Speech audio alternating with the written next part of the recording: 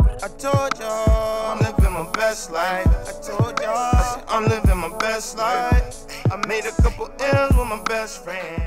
Hey guys, welcome back to my channel. It's your girl Rissa Dean, and in this video I will be doing a fall look using my Morphe by Jaclyn Hill palette and I have the Ring the Alarm palette and y'all I love this palette. I have used it like so much but I decided to come on here and do a look with just this palette.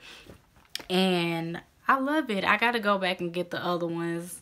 Like I don't know why I didn't when I got this one but I would definitely go back and get the other ones because the colors are just beautiful. They are very pigmented and they just last a long time and I just love it. So you guys, if you want to see how I achieved this look, then please continue to watch and make sure that you subscribe and you hit that notification bell, honey.